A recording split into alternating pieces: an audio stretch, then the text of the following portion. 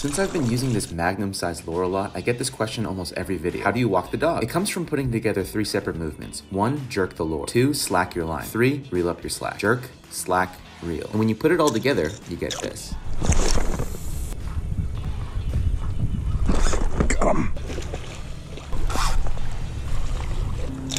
Slow things down with this technique and I promise you'll get a whole lot more bites.